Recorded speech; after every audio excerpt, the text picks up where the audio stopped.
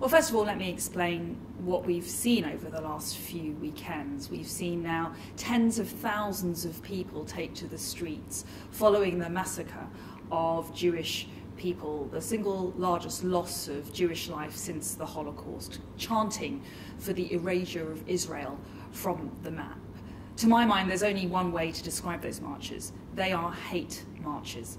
Now, secondly, the police and the, crime, uh, the, the Crown Prosecution Service are operationally independent, so it's not for me to provide a running commentary on the specific legal decisions that they are making in real time on the ground.